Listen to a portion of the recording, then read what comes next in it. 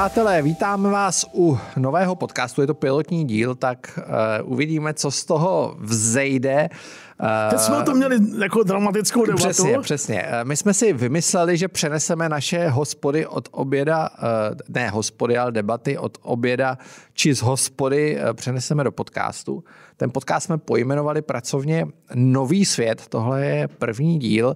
Já začnu tím, kdo v něm bude účinkovat. To jsem já, Michal Půr, ale je tady se mnou taky Martin Kovář, kterýho všichni znáte z našich dalších podcastů. Ahoj Martine. A je tady taky profesor Miroslav Barta. Ahoj Mirku. Dobré Ahoj ráno. kluci. A toho znáte a poznáte ho. toho, toho zná každý. Hezký, hezký den všem. Mirek se vrátil z Ameriky. No to tak bídně vypadá. Nikoliv z Egypta, proto, proto se tváří zaraženě, ale nicméně mentálně je tady s námi přítomen. Minimálně to tak vypadá. Minimálně to tak vypadá. Těšil se, těšil se. Co je koncept toho podcastu? My jsme si říkali, nechceme řešit kolapsy, jo, samozřejmě můžeme je do toho nějak zahrnout, ale říkali jsme si, že se děje řada změn, transformací, a to jak v Evropě, tak v Americe, v Africe, v Ázii. Prostě globálně se celý ten svět mění. Odchází nebo se zmenšuje ta globalizace, přichází nějaká lokalizace. Těch fenoménů je celá řada, od nějaký zelený politiky po populistickou politiku, po prostě, když to schrnu, tak napětí ve světě neklesá, ale spíš stoupá. První díl ten pilot bychom chtěli věnovat Evropě, protože bychom si ho rozdělili, ten podcast, na různé bloky, ať už regionální nebo tematický. Mm.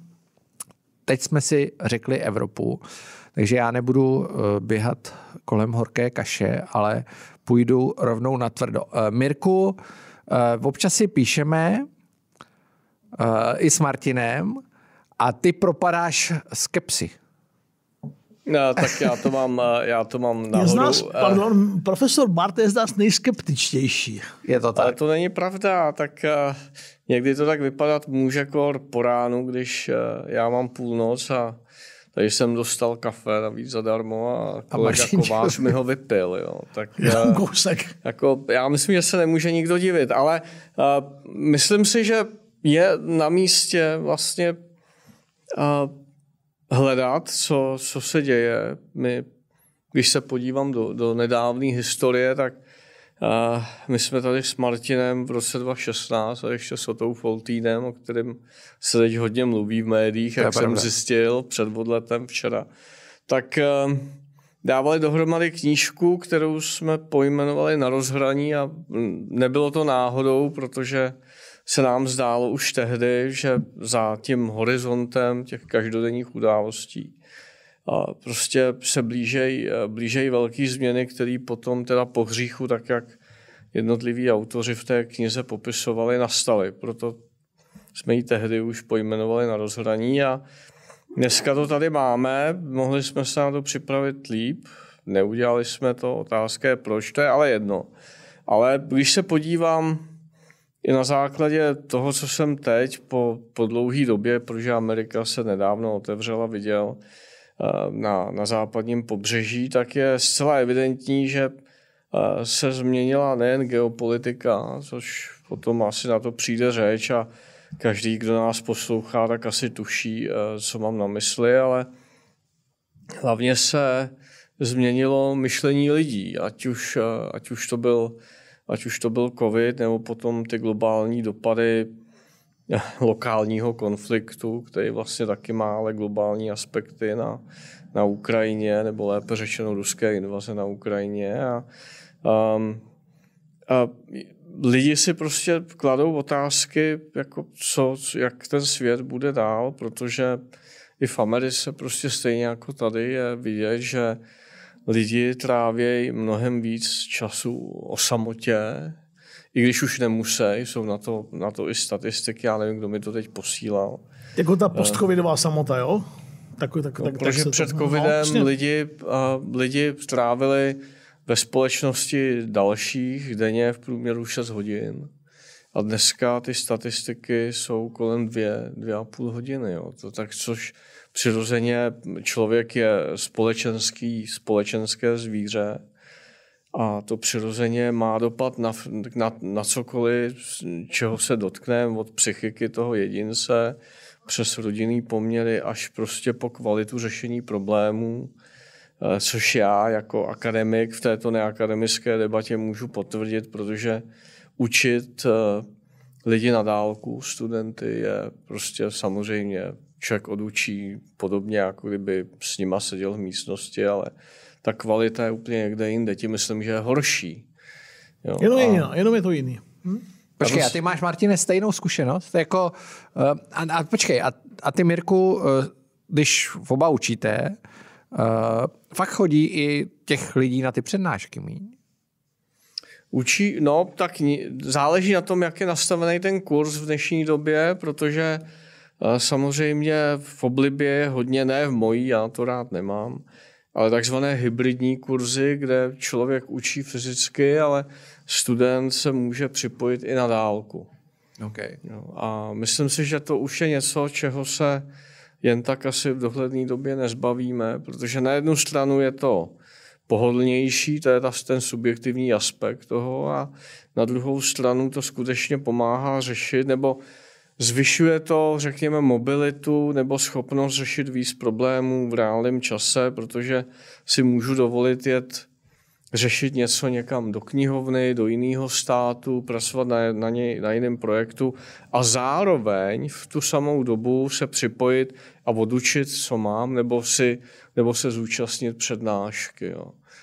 Takže není možný říct, že to vysloveně negativní nebo jenom pozitivní věc, ale jako se vším má to dvě strany ta mince. Jo. A teď jde o to, aby se to drželo nějak v rovnováze. Pro žák říkám, jsem přesvědčený, už se tady toho nového řešení nezbavíme. To asi ne. Hlavně všechny technologie, které přichází, tak směřují k tomu, že toho času v té společnosti bude míň a míň. No, že si nasadíš brejle. Znáte to všichni dneska, jak lidi nestíhají, tak často, když je nějaká schůzka, tak na poslední chvíli se dva třeba z pěti lidí omluví a připojí se z auta. Jo, jo, to dřív jo. prostě nebylo vůbec nebylo možné, takže vlastně my jsme na ten online, já si pamatuju před, před, před covidem, byly různé projekty, jak, jak zefektivnit výuku, jaký, jaký dostat do virtuálního prostoru a přišel covid. A bylo vymalováno. A během několika týdnů všichni to uměli a přešli na to až na výjimky teda. A já tak. jsem si to teda protrpěl, já jsem kontaktní kantor. Já, já, já, po, já, já jsem měl schůzky během covidu. Tak, já jsem měl taky, já jsem byl každý den v práci během těch covidových. Tohle toho dokladem, jak si kontaktní. Tak. je, je, to tak, jo. Kdo mě zná, tak ví, že to tak je, tak já potřebuju to... Publi- vypil kafe. Já potřebuju to živý publikum. Tak tři, tři nebo čtyři semestry jsem, jsme přednášeli jako do těch počítačů a tak dál. Tak nakonec jsem si na to zvykl, ty studenti si na to taky zvykli. A když jsme se pak ten první semestr po covidu sešli jako v aule, pracovně, v posluchárně, tak byli úplně jako dojatý z toho kontaktu živého. A já jsem teda byl taky jako navzdory okoralosti a starým kolenům, jako jsem byl úplně jako nadšený. Takže souhlasím, že jako to může v lecím pomoct, ale e, jako živá přednáška jak moje dějiny mezinárodních vztahů. Já ti jak... to řeknu takhle, kdyby byly za mě online přednášky, tak já bych v té škole už nebyl vůbec. No, jasně. Já tam jasně. vlastně nebyl ani, když byli ty živí. Jo. No, jasně. No, moc tak... často jsem tam nechodil, ale já, já tě přeruším. Jo. A vrátím se k tomu, co, co říkal Mirek. Ty jsi byl na západním pobřeží teď. Na no, západním. na západním. Takže se dělal dlouhý let, skutečně. Uh, nicméně, abych to vrátil do té Evropy. Jo? To západní pobřeží je... A tedy americký, když, aby bylo jasno. Americký, americký, West Coast. Uh, eh, LA, San Francisco, Kalifornie. Seattle a tak dále.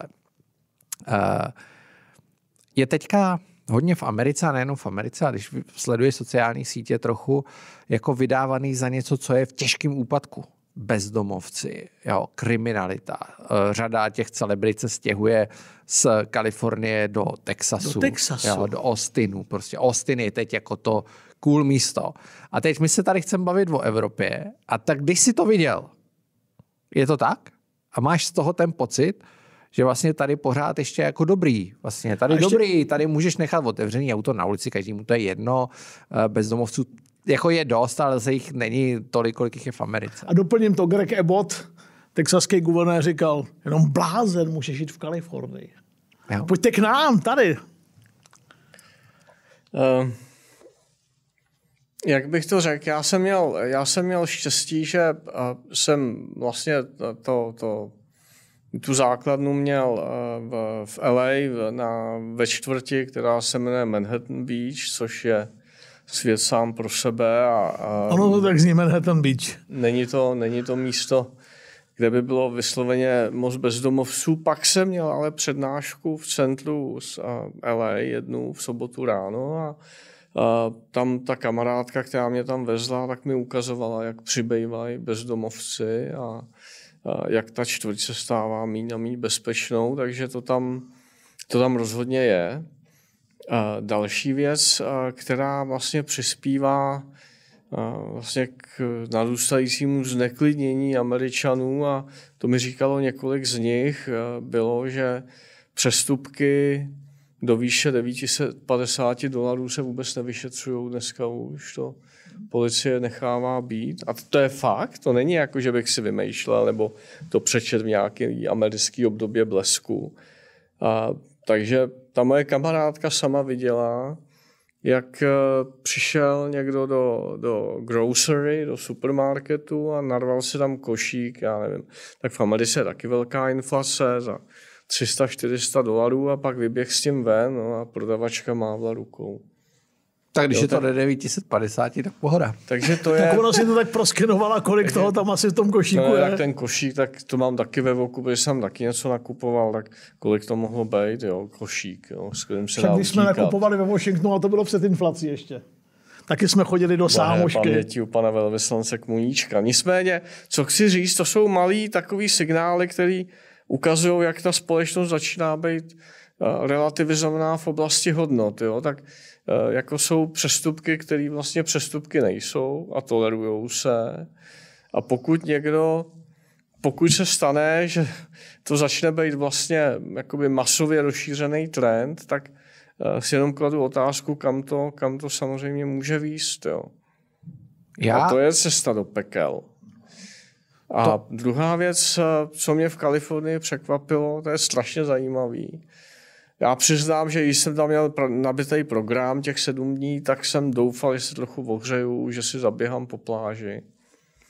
Denně maximální teploty 10-12 stupňů, každý den lilo, ale to nebyly jarní deštíky, to byly průtrže, jo. takže jediný Jediná entita, která se nám z toho eh, raduje, je Lake Powell, což je obrovská, obrovský zdroj vody, který se snad jako naplňuje po loňském katastrofickém suchu v Kalifornii. A sami ty lidi říkají, že tohle, ta kamarádka tam žije 50 let a říkala, tohle jsem nezažila takovýhle počasí, takže je tam vidět ta klimatická změna.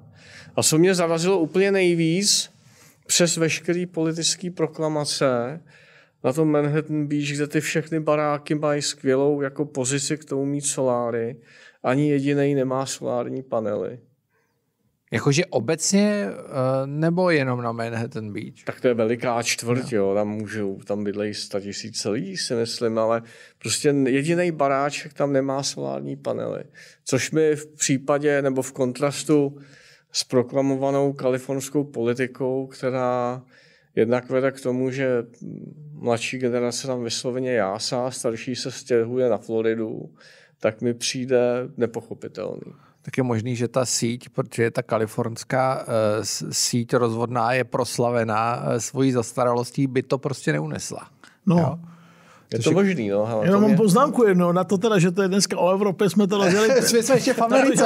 My jsme ještě v Americe. Ale na druhou stranu, Tak to jsme to spustili pěkně. Při, jako. připomeňme si, že vlastně Amerika je vždycky tam, co se děje, tak za chvíli přijde do Evropy. Tak já bych to no, zase tak neprožil. Ale mimochodem, jenom nic než poznámka. Bruno Masajš, eh, když tady byl, že a znáte ho, znáte ho oba, vydali jsme jeho knížky, tak on říká, že vlastně Amerika je celou dobu byla jenom nová Evropa bez těch jako, bez té historické zátěže, proto tak šla dopředu, ale že teď se mění, že teď už to vlastně není Evropa, teď je to úplně jako utržený směr, úplně nový, který eh, má azijský vlivy, eh, latinoamerický, latinoamerický vlivy. vlivy strašně důležitý. A je to vlastně úplně nový kontinent, který už s Evropou nemá nic společného. Jo? To mě vlastně, to mě zaujalo, Martine. Já bych byl opatrný na to nic společného, no, ale roz, jo, rozumíme si, jen je úplně evidentní, že to slábne, ty, ta vazba na Evropu.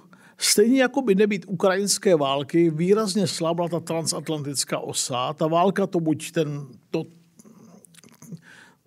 stenčování té vazby, ta válka to buď zpomalila, nebo možná úplně zastavila. To, to si nikdo, myslím, dneska netroufne jako predikovat. Ale že nebýt války, a nesouviselo to jenom s Trumpem, jo, nebýt té války v posledních dvou desetiletích jako opravdu Amerika si, Amerika si, Američané si uvědomují, že jejich zájmy jsou jinde, ty primární. Biden je, teď, Biden je starý transatlantista. Právě, tak, ale možná je poslední. Ale možná, ale jako uvidíme, jako jak, jak, jak, co bude. Myslím, že ono se to říká vždycky, že jak se bude, že se hraje v těch amerických volbách nejen o budoucnost Ameriky, ale taky o budoucnost Evropy. Jo? tak to jsem jako tak neuměle snažím ten Já myslím, že ještě vyhraje teda. Já si myslím, že on ještě vyhraje. Jo. No, Koukal jsem se na kurzy na něj je eh, jednoznačně nejlepší kurz. Jo. Byť proti němu stojí DeSantis, jo, hmm. Trump, mm. Uvidíme, kdo, kdo z těch republikánů to bude. Jo. Ale... Uvidíme, kdo, uvidíme, kdo to nakonec bude. Ostatně taky uvidíme, jestli se do toho teda Joe vůbec pustí. On teď to odložili na duben, vypadá to prohlášení, dobře. ale vypadá, vypadá dobře. Jeden můj kamarád, tady kousek má firmu, kousek od nás, který je všechno jenom ne pro americký. Říkal, když jsem ho viděl v tom Kijevě, vypadal jako americký prezident. Což je vlastně, Mirku, překvapivý, ne? Po... No, jedna strana je, jedna, jedna věc je, jak vypadá, a druhá věc je, jak mluví. A jestli člověk najde na YouTube... Jasně, občas se ztratí, ale... Ale totálně, jo. To, to se stane i nám. Já nechci říkat jako symptomy, jaký nemoci to by mohly teoreticky být, ale um, No ale zpátky, pro Evropu by bylo nepochybně dobře, kdyby to vyhrál on. No tak jdu do Evropy, jo? Jdu do Evropy. Uh, do Evropy rozumějí Evropské unie, což uh, asi je to, co nás zajímá. Samozřejmě Evropa je toho i mnohem víc, ale uh, to nejsou úplně ty naše životní zájmy. Nicméně, když si popisoval to, co si viděl v Americe, to, co se v Americe děje, teď ukrajinská válka, ty předpovědi byly hodně pesimistický. Byla tady eu, krize v eurozóně, Řecko a tak dále. Nějakým způsobem, jo, po té válce, ta Evropa to nějak uh, vždycky přežije. Jo? Vždycky s různýma problémama, Alžír ve Francii a tak dále, ale vždycky to dopadlo dobře. Jo? Sice na hraně nějakého státního převratu, ale, ale dobrý. Jo? A já si říkám, jestli ten systém, už jako položený tím Schumannem vlastně, není, jestli ho nepodceňujeme, jestli náhodou není tak odolný, že nám to tak jenom připadá, že to má nějaký výkyvy, nějaký vlnky, ale ta odolnost je obrovská, jo, Mirku. Tak, já myslím, že jsme v poločase a že ten součet bych dělal asi na konci letošního roku. Je pravda, a to je eh, důvod k velkému nebo k poměrně velkému optimismu, že přes ty eh, strašné předpovědi, jak to tady bude kolabovat a tak dál, eh, tak se Vůbec zatím, tak se zatím Evropě daří Což tady na začátku zazněly takový ty pošmoudné charakteristiky mý osoby, že jsem jako pesimista.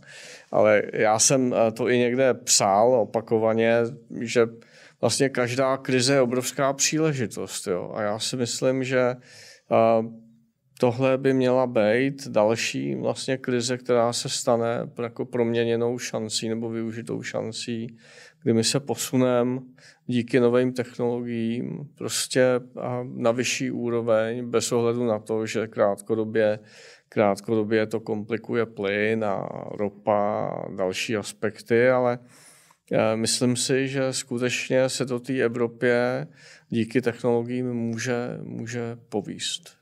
Já ještě se vrátím k tomu, co si teď naznačil, jo, že si pošmorný charakteristiky tvojí osoby. Uh, a to dělají novináři. Dělají to, to novináři, ne, počkej, já to nedělám, jo. A to jsem, teď jsem to chtěl jako vyjasnit, jo.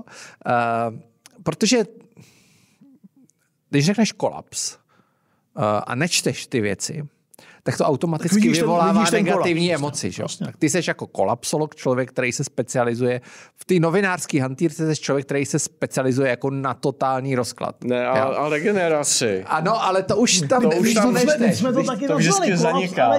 No a když, když, už, když to nečteš, tak se to vlastně nedozvíš, protože když si vezmu sedm zákonů, tak tam je to uh, jasně napsaný. Jo, tam vlastně je napsaný a ten kolaps je vlastně dobrý, protože se očistí od ty nefungující struktury jo, zdravné, a většinou jo. se ta civilizace, ne vždycky teda, jo, ne vždycky, posune na nějakou vyšší úroveň. Takže já pro mě třeba sedm zákonů je jako velmi optimistická kniha. Jo? No, a jsme u toho. No, a, ne, no, tak, a, hele, ale máme to jako hodně podobně. Já taky vůbec jako nejsem pesimistický. Jednu ráno někdy jo. Ně, někdy ráno. Na, na Whatsappu. Přátelé, když my dva si píšem půl, půl pátý ráno, nechtějte to číst. To je pravda. ale, Můžu potvrdit. Ale, ale, uh, a vlastně bych podepsal skoro, co Mirek říkal, technologie, možnosti, jakých se nikdy nikomu nesnilo. A to neplatí od dnešku. Kdyby byl býval někdo v roce 1890, někomu řekl, jak bude Amerika vypadat za 30 let, nevěřil by mu. V tom totálním rozvratu za druhé světové války, jaký budou 50 let. Ale chci říct jedno. Ať už to bude, jak to bude, ať už jako z toho vzejde ta, ta šance velká a ta Evropa se zresuscituje, tak to ale bude jiná Evropa, protože ta válka a to, to, to, to čím prochází dneska a změna politických figur, politických leadershipů tu Evropu proměňuje. Jo? Co tím chci říct, že třeba ve srovnání se situací před čtyřmi, pěti lety, dlouholetý evropský hegemon Německo zdaleka nemá tu pozici, jakou měl. Byť ekonomicky je to furt jako strašná síla, ale při vší úctě není to jenom o ty politice, jenom o ty ekonomice. Jo? Je to jako o tom politickém leadershipu. A popravdě řečeno, teda po, a teď nechci hodnotit Merkelovu, to by bylo na šest podcastů. A taky bychom si museli pozvat nějakého jako hosta k tomu. Ale e, opravdu, a Schroederovi dneska nikdo nemůže přijít na jméno, ale fakt je ten, že když to řídil Německo, tenkrát Gerhard Schröder, Těžilo z těch jeho reform tak, dlouho, do dneška. Přesně. A když to pak 16 let řídila Angela Merkelová, byl to jiný leadership a byla to jiná autorita i ve vztahu k Francii francouzsko-německý motor, než je Olaf Scholz. Je mi líto. Jo. Macron je po druhé no, zvolený. No, uh, vy tebou asi trošku nesouhlasil. No, jo, jo no, uh, zkusím, no, teď já to zkusím. Tak jenom říkám, že, že, to bude, že to po mém soudu může, neříkám bude, říkám, může být méně německá Evropa, než to byla a to může taky znamenat hodně jiná Evropa. Hmm. Uh, asi jo, ale uh, máš takový hodně masaješovský pohled, jo? Uh, on říká, že vlastně ta největší problém je ten fra- franko-německý motor. Jo? No, že ten to, je jako zadrhlej a ten je, ten, uh, přestože byl silný a je silný a je silný pořád, tak byl vlastně výrazem určitý stagnace s tím, že my jsme tu stagnaci neviděli. Takhle, na, na východě jsme ji viděli. Jo? Samozřejmě si byl často označovaný za škarohlída, ale eh, nakonec se ukázalo, že něco na té kritice bylo. A mě by vlastně, Mirku, zajímal tvůj pohled na uh, tuhle věc. Já si myslím, že to Německo, a teď můj pohled na Olafa Šolce je maličko smírlivější. Jo? Podle mě to je muž bez vize, což jako jo, ale s nějakým způsobem uh, se mu daří vypořádávat s těma problémy. Ještě, jo, je úžasně a... efektivní, což je překvapivý. Což je a, překvapivý. Aby to neznělo jako, že jsem ho jako jenom nechválil. Na druhé straně, a to dodám, že Mirek se toho pak hopí, když tak jako kritizujeme, já jsem to teď vlastně někde psal, že když tak kritizujeme to Německo furt, tak bylo pomalý v té reakci na a ve všem, tak vezmeme ji ale současně v potaz, jaký obrat udělal Scholz od, od nástupu do úřadu kancléře že vlastně úplně musel jako představit tu Ostpolitik, která už se tak sice nejmenovala, ale fakticky pořád existovala. A, tak, ně, a to představuješ něco, co je jako identitou jeho SPD? Přesně tak. Jo? Jo, teď se podívejme taky, z čeho vyrost, z jakých kořenů vyrost, co dělal. Tak, tak vezmeme-li tohle všecko, vezmeme-li tohle všecko v potaz, tak ten obrat německý je vlastně monumentální. Jo? Jo? A já tak bych ještě tohle, zdů- tohle, tohle mu neupírám. Ano, a zaniká v té debatě ještě jedna věc, a teď můžete nesouhlasit, nebo, ne- nebo můžete souhlasit. Uh, oni nám fakt zachránili prdel. Jo, jako Česku teď myslím, Česku. Jo? Oni skutečně eh, v té energetice, oni, že když se vrátím do detailu, jo, ten Uniper, že zachránili a tak dále, oni jako nezachraňovali sebe, oni by se s tím vypořádali, ale eh, my bychom jako bez té jejich snahy jako ten plyn fakt neměli. Jo? Oni nám fakt zachránili prdel a je to často k ním velmi nespravedlivý, eh, jak se tady o nich mluví. Mirku, Tak, a určitě je na místě vyzvednout to, o čem vy mluvíte teď poslední minuty. To znamená, že každý z těch každý z těch lídrů vlastně se musí hodnotit podle kontextu v jeho době. My máme této dnešní zlo i v médiích, že někoho vytáhneme jako králíka z klobouku a teď ho začneme kritizovat na základě našich dnešních jako přístupů a názorů a, Bůh ví čeho. Takže rozhodně každý z těch lidí jako ve své době jako významně vynikal nad, nad tu masu, která byla kolem něj. Eh, Co mně přijde důležitý v souvislosti s Německem a dějinama, řekněme, po druhé světové válce a specificky teď, řek, řekněme od 24. února 2022. Tři. Dva? Jo, ty se vracíš zpátky. Jo. Ano. Tak um, nejsem věděl, kdo má četlek. Tak mně přijde vlastně, že Ale Němci, Martin má roční teď. že Němce vyděsili, vyděsili po roce 45 jejich desetiletí trvající experimenty s duchem, s nějakýma světovýma teoriema o úloze německého národa, a který vlastně byly ve svém důsledku v praxi tak děsivý, že od roku 45 Němci prostě upřednostnili na, naprosto na celý čáře hmotu. To znamená výrobu, obnovu, nemluvit hlavně o politice, jako do ničeho se nemíchat. Evropská unie, která původně vznikla jako Evropský hospodářský prostor. Um, a ta, to upřednostnění hmoty, o který si mysleli, že jasně nemůže už výst k těm zběsilostem, který Němci v první polovině 20. století opakovaně způsobili, takže zachrání. No a jako všechno, jeden z těch sedmi zákonů civilizačních je ten Herakleitův, který říká, to se vás přivede na vrchol, typicky v případě Německa ta hmota, ta výroba, ta úžasná ekonomika, který se bojí i američani, tak vlastně dovedla k tomu, co jsme tady viděli především poslední rok, to znamená vlastně svým způsobem šok Německa z toho, že je postavený do role, že musí rozhodovat něco, co se netýká ekonomiky nebo nějaký, jako, nějakých aspektů, které souvisejí s hospodářstvím, ale něčeho, co zase má dopad na celou Evropu, ideologický, ideový, filozofický.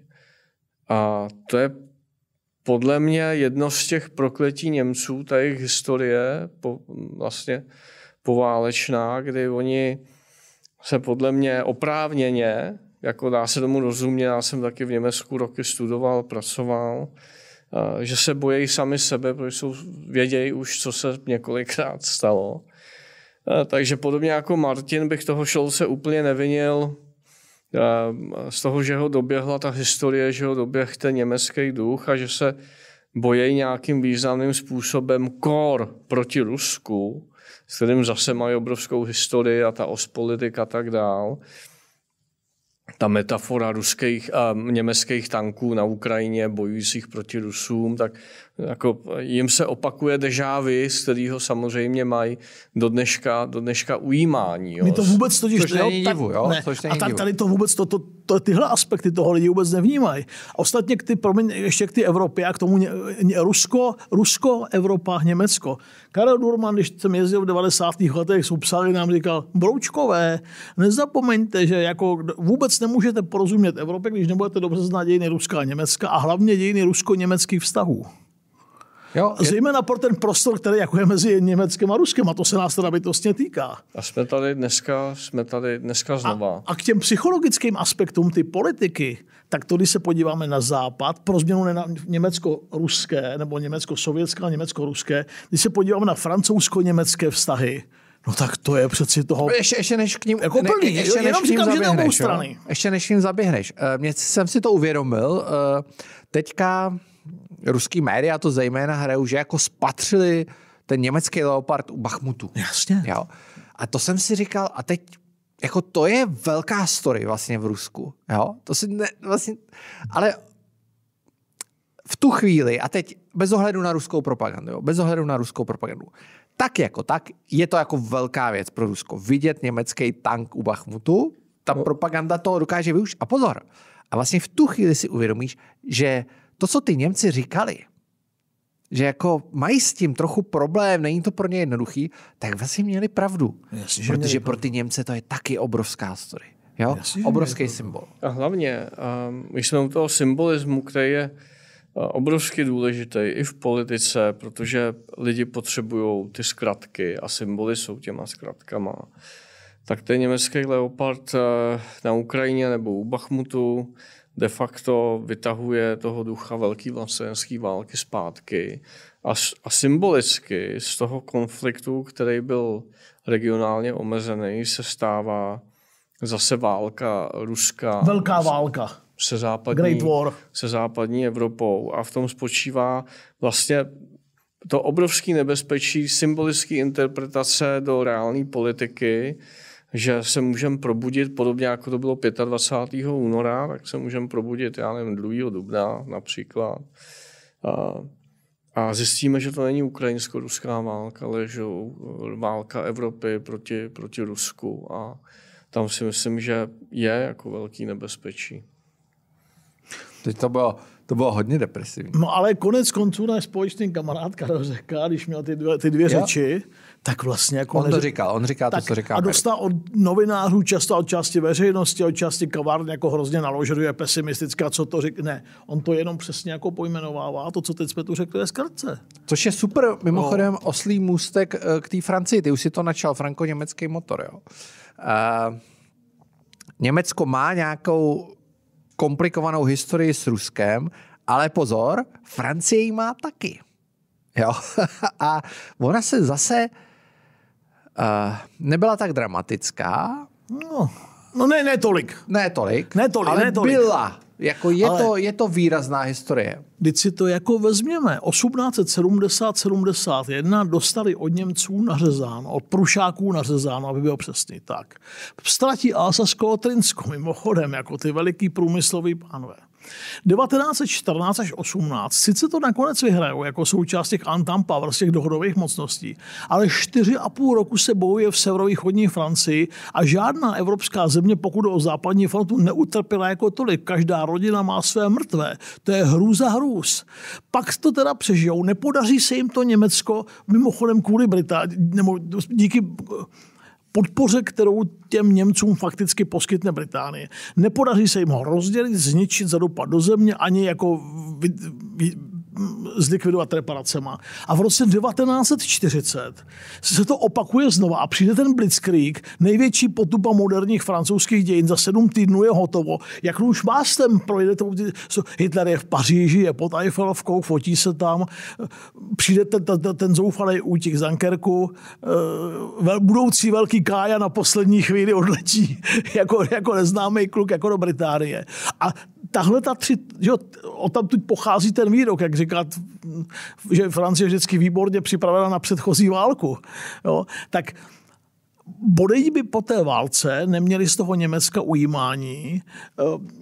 Vůbec ta, ta integrace, kterou to Michal začal, přece vůbec nezačala jako protože tu byly nějaké obavy z války, ano, ale vůbec ne v tom studenoválečnickém kont, jaksi kontextu jako z toho Ruska.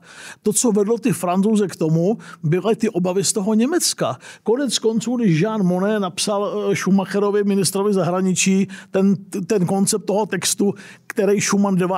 května 1945 na tiskovce přednesl, tak říkal, a budeme společně vyrábět uhlí a ocel a v důsledku z toho se stane válka mezi našimi zeměmi jako nepravděpodobná a materiálně nemožná. To se ale stalo v podstatě. A já, já jsem si na to vzpomněl, před lety, už ono to strašně letí, to už mnoho let, dostala Evropská unie Nobelovou cenu míru, že jo? A tehdy chtěli, abych něco k tomu řekl v tele a byl hrozný řev kolem toho. Jako. A já jsem říkal tento komentu a říkal jsem, no, nevím, jestli měla dostat dneska. Kdyby ji dostala v roce 1965, tak to bylo naprosto jako zasloužený. Neříkám, že za ten západoevropský mír může Evropská unie. Primárně to, bylo, jako, to byla Severoatlantická aliance. Ale byla to hokejovou terminologií taková pěkná asistence, a, jo, a rozhodně ten kanadský bod by si za to jako pěkně tučně zasloužila. Čili nezapomeňme na to, jako jaký byl prvotní cíl ty unie a nevím, Mirek nebo Michal říkají, že jako ekonomický projekt, ale už v tom Šumanově prohlášení z toho 9. května je, že, jo, že, že je to just only the first step. Přesně Nic než první krok na cestě a tam ta ano. slova je Evropské federaci. Ale ta cesta tam vede a povede, tak. jo? Tam není vůbec jako pochyb. A já jsem na tohle měl ve svém životě poměrně vyhrocený názory, ale jako už jsem se s tím nějak smířil. Jo? Ale já se vrátím do Francie, Mirku. Mě by vlastně zajímalo, jak hodnotíš Francii. Já ti řeknu můj, můj takovou úvahu. Čtu knížku, která se jmenuje A New World, napsal jeden uh, historik americký, to se mi vypadlo jméno, to je jedno, je o francouzské revoluci. Je to fakt jako první, teďka poměrně nová A New World, jo, se to myslím okay. jmenuje. Uh, a je to úplně nová, vlastně no, nový pohled na francouzskou revoluci. Zahrnují se tam jako i ty moderní, moderní eh, trendy, jako pohled na otroství, role žen a tak. To je jedno. A ta kniha je fantastická, jo? je strašně dobře napsaná, je hodně, hodně detailní, nej, není to lehký čtení chvílema. Ale já mám pro Francii slabost. Jo?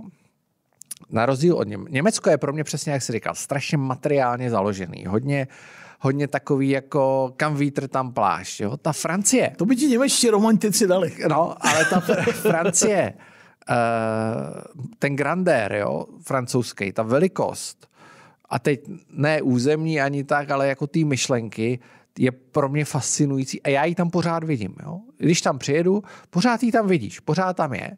Uh, musíš umět francouzsky samozřejmě, to je jako dost důležitý.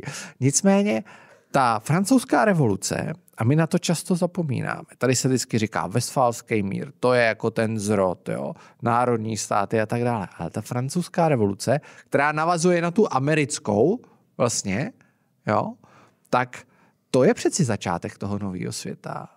A ten začal v té Francii. Moderní Evropa začíná francouzskou A podle revolucí. mě Francie je vlastně takový bordel na kolečkách, ale ty hodnoty, které přinesla ta francouzská revoluce, které jsou samozřejmě kontroverzní mnoha ohledy. To jsem chtěl říct, nebo ty hrůzy, které přinesla. No, tak hrůzy, jo, tak tam je fascinující scéna, jo, zaběhnu k tomu. Uh, oni vyženou toho Ludvíka 16. z Versailles a ženou ho do té Paříže v ten jeden moment revoluce, asi půl roku prostě po té Bastile. A uh, jde obrovský průvod z toho Versailles, všichni ty měšťani vlastně jako jdou, jdou, jdou do té Paříže a, a on se trochu stěhuje, ty, trošku trochu, donuceně. Taky trochu ty lůzy. To, trošku ty lůzy donuceně a pobijou mu uh, nějaký ty tělesný strážce a uříznou jim hlavu. Jo? A jdou s těma hlavama, ale zároveň jdou jako mírově s tím Ludvíkem, protože v té době, půl roku po té Bastille, oni toho Ludvíka vnímali uh, jako konzistentního prostě krále, který jim vlastně umožnil eh, jako posílit uh, tu demokracii ve státě. A teď opravdu na všech úrovních. Jo. Konec konců byl to on, sice ty motivy to jeho jsou... popravou. Jo. A svolal ty stavy. a přesně. On svolal ty stavy, tam to všechno vypuklo a říkal jsem si, to je jako fascinující. Jo. To je prostě fascinující sonda, že to vlastně drží. Jo? To je geniální. Všimej si, jak Michal jak umí francouzsky dobře, jak, jak je načichuje tím frankofonním Bruselem, jak, jak tou Francie, ta velikost ty Francie, já to absolutní souhlas. Tam jako jde víc o toho ducha, víš, to už není to, co jsi říkal, to není to Německo, to je duch. Jo? Ve Francii je to duch. Vzpomínám A si, ten duch táhne i ten zbytek. Vzpomínám si na De Gaulleovi válečný paměť, jak on na začátku má takovou krásnou vzletnou pasáž, říká, Představuju si Francii jako spanělou princeznu, která jde těma dějinama a teď na ní číhají ty útrapy a ty, ty, ty hrůzy všecky a, a ona to vždycky přežije. A říká, a ať je na vrcholu, anebo v tom propadu, tak jak ten vrchol je obrovský, tak ten propad je taky vždycky veliký. Ale ona všemu, a to má ten 40. rok na mysli samozřejmě, a ona pak jak ten Fénix z popela jako vždycky nakonec povstane a všechno to přežije. Mirek dlouho nemluvil, jo? Mirku, ještě než začneš jedna věta. No, těším se. Uh, já rád taky poslouchám. nám něco řekni Jedna věta, jo, jedna věta. Uh, Tady, a v Česku je to hodně typický, se dává za vzor Británie, jakožto konstituční monarchie, uh, Spojený státy jako kolébka demokracie, což je nepochybně. Ale pozor, ta demokracie v té Francii je stejně jako dlouhá. Ta je vlastně dlouhá, jak v té, jo, s, s nějakýma propadama. Republiky se střídají, taky to je často jako komplikovaný všechno, ale, Mimochodem, ale ta pát- tradice je, je u ní to kolem ní trochu bordel. Mimochodem, než teda Mirek, poslední poznámka k tomu. Pátá republika je nepochybně nejúspěšnější republikánský koncept ve Francii všech dob. Jasně. To teda velký Kaja nastavil dobře, byť má na, jako spoustu kritiků. Promiň. A, a vlastně přišel, přišel jako ve chvíli, kdy se to hroutilo, jo, totálně. A dokázal to změnit takhle. Ob- f- Fakticky vzato, teda nám se nedaří ho pustit ke slovu. Fakticky vzato Francie byla ve stavu hodinu. občanské války. On bude mluvit hodinu, přesně tak. tak. Mirku. Už mlčíme. Já, já rád poslouchám a teď v tuhle chvíli jsem zrovna trochu v útlumu, ale um, Ježíš, myslím si, že se. Francie, Francie je klasickým příkladem toho, že um, když má nějaký národ stát vizi, tak se mu daří mnohem líp než uh, národ, který tu vizi nemá. A to je pro mě třeba protipol Německa a Francie, nejen v současné době. Nesmíme taky zapomenout, že Francie, um, nebo takhle Francie a Spojené státy v době svého vzniku uh, byly ve velmi intenzivním vztahu. Jo. Vlastně. Vzpomeňme si na významného francouzského státníka, který jel eh, po Spojených státech, sepsal o tom nádhernou, eh, nádhernou knížku. A, takže ty země se od začátku velice ovlivňovaly a dali si to nejlepší. A, druhá věc je, že Francie svým způsobem, pokud někde v Evropě je nějaký, eh, nějaký geo, geografický rozcestník, trendů od severu na jih a naopak a od východu na západ, tak je to podle mě Francie, jo, která má blízko do zámoří, má, je součástí Evropy, zároveň má velmi blízko do Afriky. Má, Přes kanál hned má ty Brity. A ten kanál v různých dobách je různě tlustý. takže, eh, Vlastně ta, eh, ta nutnost eh, Francie reagovat na různý eh, geopolitický, reálný, ale i ideový vlivy, trendy, prostě z ní dělá v tomhle ohledu velice silnou zemi a abych se k tomu samozřejmě má svoji zátěž, která jí ale zároveň pomáhá a na cestě k nový, nový identitě, která samozřejmě bude taky v tomhle století jiná, než byla v minulém. A to je a, zátěž kolonialismu. Teď to vidíme na tom, jakým způsobem Francie realizuje svou novou politiku v Africe, kdy už to není taková jako způsob patronizace, dohledu, ale naopak hledání reálného partnerství, což přiznejme si v Africe občas je, je velký problém z mnoha různých důvodů. Ale já bych se chtěl vrátit k současné Evropě, i když je, straš, je strašně, ne i když, je strašně důležitý dívat se na tu dnešní Evropu z pohledu těch dlouhých historických trendů, kdy, jak vidno, nám pomáhají pochopit, proč je Německo tam, kde je dneska, stejně tak jako Francie nebo případně Rusko. Ale a pro mě já... jenom, jenom poznámka technická ten, ten, ten dlou, sledovat to v tom dlouhém historickém vývoji. To je Mirkova specialita. Tak jednak a hlavně přece každý, kdo tohle jenom trochu umí, tak nemohl být překvapený Brexitem. Vzpomeneme si na ten šok z Brexitu. Ani Ukrajinou. Ani, a konec konců ani Ukrajinou. Přesně, jasně. Bez, tomu, těch, bez tomu... toho dlouhého časového horizontu se to skoro vůbec nedá jako dělat. A já teď odbočím, protože a my jsme měli ty debaty všichni tři, buď brzo ráno nebo pozdě v noci, protože přes den se k tomu nedostaneme. A radši ty večerní, to jsem v lepší formě. O, o leadershipu a vemte si jak Churchilla, tak teď um, amerického uh, politika, který mu bude skoro 100 let, napsal knížku o leadershipu, teď mi Henry Kissinger. Henryho Kissingera. Co jsi nic neřekl, Henry? Oba, oba říkají, oba říkaj, že základním kamenem jejich úspěchu v politice byla výborná znalost historie, jo, což je poměrně, poměrně memento, když je srovnám s dnešníma politikama v západní eh, Evropě a i u nás. Co chci ale říct, je něco jiného. Takže jsme tam u těch dlouhých časových řád, o tom rámci, který definuje vlastně tu současnost. A já se musím přiznat, že v případě Francie jsem měl eh, v těch posledních měsících vlastně velký problém s tím, že Macron neustále s tím, s tím Putinem komunikoval a snažil se něco, něco vykomunikovat a, a říkal jsem si, no tak jako s lidmi jako Putin se ne, nediskutuje. Ale nevím, jestli to je věkem, jetlagem, nebo jetlagem to není, nebo prostě tím, že ty věci trvají. Ale dneska si myslím, že je vlastně, pokud nechceme připustit, že ta ten konflikt bude eskalovat, tak jediný možný způsob, jak, jak nějakým způsobem najít řešení, je prostě i s tou ruskou stranou komunikovat, protože nejhorší je jako přestat komunikovat. Hele, to si myslím, že je, a te, souhlasím a... s tebou, jo? Souhlasím s tebou. A myslím si, že u toho Macrona, a teď se dopustíme jako svatokrádeže v Česku, jo? Nicméně, uh, když se podíváme do kontextu té doby, kdy on telefonoval s tím Putinem, jo, tak tady byla nějaká jaderná hrozba, ať už jako používáš ji, jasně, že ji ty Rusové používají, aby jako vyděsili tu společnost, rozdělili a, a oslabili ve výsledku. Ale uh, nepochybně tady byla a teď tady není. Jo? Nebo není tak vysoká. Není tak vysoká. Jo? A sami Rusové to tak říkají. Ten Macron telefonoval s tím Putinem v té době, kdy byla on s ním mluvil. Protože když v té době s ním mluvíš, tak on není hloupý. Fakt není. Jo, je to vidět z těch kroků, který dělá, není vůbec hloupý. Jako kdo? Macron. No ten je všecko, a, ten je všecko jenom nehloupý. Přesně. A on uh,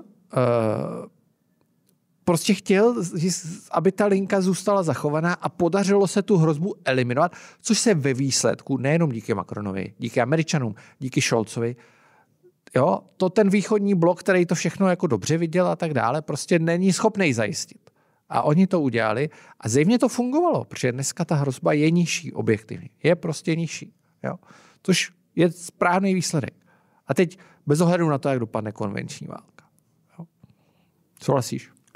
Jo, na druhou stranu, že jako ta Francie si tu komunikaci může dovolit, protože je velká, je to velmoc, není v tom bezprostředním kontaktu s tím Ruskem. Ta polská zkušenost historická, polské obavy, polský traumata jsou samozřejmě jiný.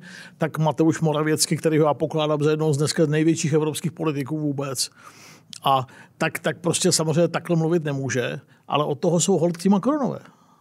Jo, je to přesně tak. A ta naladění té veřejnosti jejich je úplně jiný než naše nebo polský. Jo. E, nic posunuto, e, posun, nejsou tady jenom tyhle státy. A Eh, než bychom to prošli všechno, tak to nestihneme. Jo? To je tutovka. My jsme si dali hodinu, hodinu eh, na každý Abyste to uposlouchali. Abyste to uposlouchali. Už se blíží, už se to, Mirku, blíží tvůj jetlag, eh, konec tvého jetlagu. Máme, máme 50 minut za sebou jenom. Já tak, si jo, tak... pak tady ne. objednám svý kafe, Martin. Aha. Počkej, ale já nevím, jestli jsi z toho všimnul, a Martin ti vypil už i vodu. I vodu. Já jsem to nechtěl komentovat.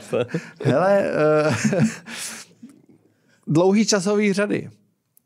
Uh, na rozhraní, když si to přečteš, tu knihu z roku 2016, viď? pokud se nepletu, mm. Tak tam jako ten ukrajinský konflikt je vlastně jasně narýsovaný. Uh, úplně, úplně, kdyby to ti politici použili tehdy a přečetli si to, tak jim to bylo všem jasný.